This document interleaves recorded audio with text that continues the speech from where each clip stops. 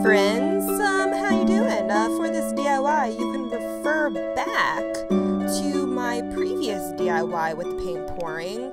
Um, yeah, I'll put it in the end card. But the only difference is that you're going to need silicone and Floetrol for this particular DIY. Um, yeah, and of course you're to need acrylic paint. You just mix and pick and choose which one you want to add your silicone to and which one you want to add your Floetrol to. I added it to the white, the Floetrol. yes.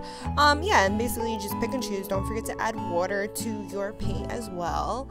Um, I noticed with cheap paints it's really watery, but with high quality paints you have to add more water. But yeah, see, I've uh, put it on my canvas and I'm starting to blend it out with my popsicle stick. I'm putting some more in there and uh, using a spatula to get it uh, going.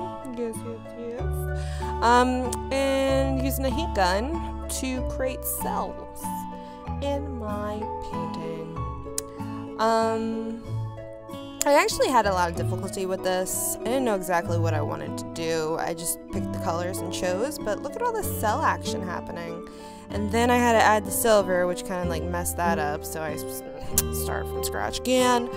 Um, yeah, put a little bit of white in that, a little bit silver. Yes, I did.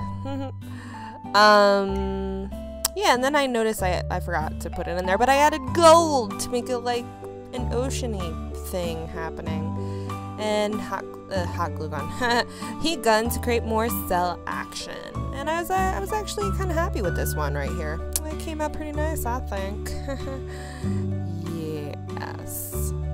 I was just adding a little silver, a little gold to the edges, you know, you know, make it look a little pretty, pretty. Um, yeah, so that's about it. Um, hope you liked the video. Don't forget to subscribe. Bye.